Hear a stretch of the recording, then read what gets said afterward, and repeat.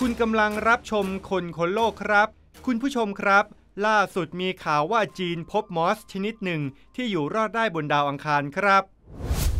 นักวิจัยจากสถาบันบัณฑิตวิทยาศาสตร์จีนค้นพบมอสทะเลทรายชนิดหนึ่ง ที่มีศักยภาพพอที่จะอยู่รอดบนดาวอังคารได้ ซึ่งเต็มไปด้วยรังสีอวกาศรุนแรง และความเย็นจัด มันคือมอสที่มีชื่อว่าซินทริเซียคานิเนวิส ดาวอังคารได้กลายเป็นเป้าหมายใหญ่ในการขยายอาณานิคมของมนุษย์ไปสู่อวกาศ องค์กรต่างๆ ไม่ว่าจะเป็นนาซาหรือแม้แต่ SpaceX เองก็มีโครงการระยะยาวไปสู่ดาวอังคาร แต่การจะอยู่รอดบนนั้นได้ต้องมีการดำเนินงานอีกจำนวนมาก ในการเปลี่ยนดาวเคราะห์สีแดงให้กลายเป็นบ้านที่อบอุ่นแต่ในตอนนี้นักวิทยาศาสตร์กล่าวว่าพวกเขาได้เข้าใกล้จุดมุ่งหมายนั้นไปอีกก้าวหนึ่งแล้ว เนื่องจากมีการค้นพบมอส Syntrichia caninervis ซึ่งเป็นมอสที่พบได้ในภูมิภาคต่างๆ รวมถึงทวีปแอนตาร์กติกาและทะเลทรายโมฮาวี สามารถทนต่อสภาพแวดล้อมของดาวอังคาร ที่มีรังสีระดับสูง แห้งแล้งและหนาวจัดได้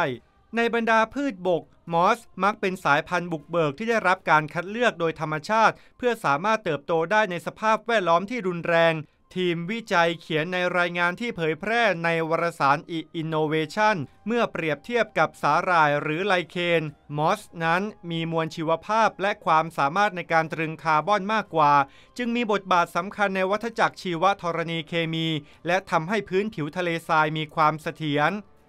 หากมอสชนิดนี้สามารถอยู่รอดบนดาวอังคารได้ มันจะกลายเป็นตัวเปลี่ยนเกมในการสร้างที่อยู่อาศัยของมนุษย์ เนื่องจากการทำให้พืชสามารถเติบโตได้ด้วยตัวเอง เป็นปัจจัยสำคัญยิ่งในการตั้งถิ่นฐานนอกโลกทำให้มนุษย์ไม่จำเป็นที่จะต้องคอยส่งทรัพยากรจากโลกไปยังที่อื่น ซึ่งมีความสิ้นเปลืองอย่างมาก พืชที่เติบโตเหล่านั้นสามารถผลิตออกซิเจนให้กับการหายใจ หมุนเวียนน้ำ ผลิตพืชผลที่สามารถนำไปประกอบอาหารต่อ และยังช่วยสร้างบรรยากาศที่ดีในการอยู่อาศัย ช่วยให้มนุษย์ที่อยู่ไกลบ้านสามารถรู้สึกถึงสิ่งแวดล้อมที่อยู่บนโลกได้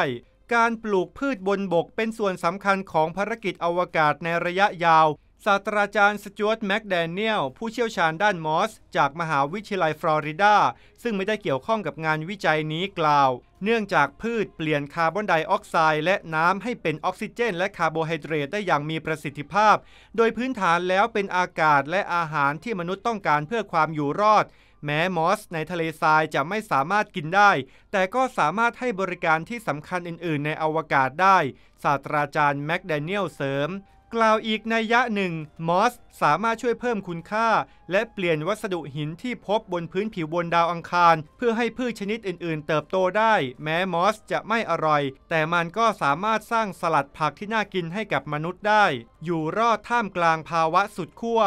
ในรายงานของทีมนักวิทยาศาสตร์จีน ได้ทำการทดสอบมอสซินทริเซียนี้ โดยการสร้างภาวะที่คล้ายกับดาวอังคารในห้องทดลอง โดยเริ่มจากการทำให้มันขาดน้ำอย่างรุนแรงเป็นระยะเวลาหนึ่ง ซึ่งเมื่อทีมวิจัยได้กลับมาให้น้ำมอสชนิดนี้สามารถกลับมาทำกิจกรรมของมันต่อไปได้ ภายในไม่กี่วินาทีหลังจากได้รับน้ำคืน แต่เท่านั้นยังไม่พอ มอสที่ในภาวะขาดน้ำนี้ได้ถูกนำไปผ่านความเย็นจัด โดยถูกแช่ไว้ในช่องแช่แข็งที่มีอุณหภูมิลบ 80 องศาเซลเซียส เป็นเวลาถึง 3 หรือ 5 ปี และอีกกลุ่มหนึ่งจะถูกเก็บไว้ในถังเก็บไนโตรเจนเหลวเป็นเวลา 15 วัน หรือ 30 วัน ก่อนที่ทั้งคู่จะถูกย้ายไปยังทรายที่ผ่านการฆ่าเชื้อมาแล้ว หมอสซินทริเซียได้สร้างความประหลาดใจให้กับทีมนักวิทยาศาสตร์อย่างยิ่ง พวกมันสามารถฟื้นตัวกลับมาทำงานได้ปกติ ราวกับไม่มีอะไรเกิดขึ้น หลังจากเก็บรักษาอยู่ในไนโตรเจนเหลวเป็นเวลา 15-30 วัน ในที่สุดพืชก็สร้างส่วนที่งอกออกมาได้ใหม่ประมาณ 2 ส่วน ทีมงานเขียนอัตราการงอกใหม่อยู่ที่ประมาณ 95%ของอัตราการงอกในพืชกลุ่มควบคุม ไม่เพียงเท่านั้น ทีมงานยังทำให้มอสชนิดนี้ได้รับรังสีรุนแรง ความดันก๊าซและอื่นๆ แบบเดียวที่เกิดขึ้นบนดาวอังคาร พวกมันก็ยังคงฟื้นตัวกลับมาได้อย่างน่าทึ่ง ซึ่งหากมนุษย์ได้รับรังสีในปริมาณเดียวกันนี้ จะเกิดอาการชักอย่างรุนแรง และเสียชีวิตในเวลาต่อมา แต่มอส Syntrichia สามารถฟื้นตัวกลับมามีชีวิตใหม่อีกครั้ง แม้มันจะอาบรังสีมาแล้วเป็นเวลากว่า 60 วัน เมื่อมองไปยังอนาคต เราคาดหวังว่ามอสที่มีศักยภาพนี้ สามารถนำไปยังดาวอังคารหรือดวงจันทร์ เพื่อทดสอบความเป็นไปได้ในการตั้งอาณานิคมของพืช และการเจริญเติบโตในอวกาศ ทีมวิจัยเขียนซึ่งพืชส่วนใหญ่ไม่สามารถทนต่อความเครียดที่เกิดจากการเดินทางในอวกาศ เป็นระยะเวลานานได้ บทความนี้น่าตื่นเต้น เพราะมันแสดงให้เห็นว่ามอสในทะเลทรายสามารถรอดพ้นจากความเครียดบางส่วน ที่อาจพบได้ในระหว่างการเดินทางไปยังดาวอังคารศาสตราจารย์แม็กเดเนียลให้ความเห็นต่องานวิจัยนี้ รวมถึงระดับรังสีที่สูงมาก อุณหภูมิที่เย็นจัด และระดับออกซิเจนที่ต่ำมาก มีอีกมากที่ต้องพิสูจน์ อย่างไรก็ตามผู้เชี่ยวชาญหลายคนยังเชื่อว่า มีอะไรที่ต้องดำเนินการและต้องศึกษาอีกมาก เนื่องจากงานวิจัยนี้ยังคงมีข้อจำกัดบางประการ ซึ่งก็คือยังไม่ได้ศึกษาผลกระทบของรังสีอนุภาคและยังไม่ได้ทดสอบกับดินดาวอังคารจริง ๆ การทดลองเหล่านี้ถือเป็นก้าวแรกที่สำคัญ แต่ก็ไม่ได้แสดงให้เห็นว่ามอสสามารถเป็นแหล่งออกซิเจนที่สำคัญภายใต้สภาวะของดาวอังคาร และไม่ได้แสดงให้เห็นว่ามอสในทะเลทราย สามารถแพร่พันธุ์ได้ในบริบทของดาวอังคาร ศาสตราจารย์แมคแดเนียลกล่าวกล่าวอีกอย่างมอส Syntrichia ในงานวิจัยนี้ได้รับการทดสอบในสภาวะที่คล้ายดาวอังคารอย่างมาก เป็นเวลานานแตกต่างกันไป แต่ในท้ายที่สุด มันก็ถูกนำออกมาและฟื้นตัวในสภาวะบนโลกที่เป็นทราย ดังนั้นจึงต้องมีการทดสอบต่อไป แต่อย่างไรก็ดี งานวิจัยเหล่านี้เป็นความก้าวหน้าในการที่จะทำให้ดาวอังคาร เป็นที่อยู่อาศัยของมนุษย์ที่มีความยั่งยืน มอส ที่ทนต่อสภาวะรุนแรงนี้อาจเป็นพืชบุกเบิกที่มีศักยภาพสำหรับการตั้งอาณานิคมบนดาวอังคารศาสตราจารย์แอดเวิร์ดกินแนน จากมหาวิทยาลัยวิลาโนวาที่ไม่เกี่ยวข้องกับงานวิจัยกล่าว เรายังมีหนทางอีกยาวไกล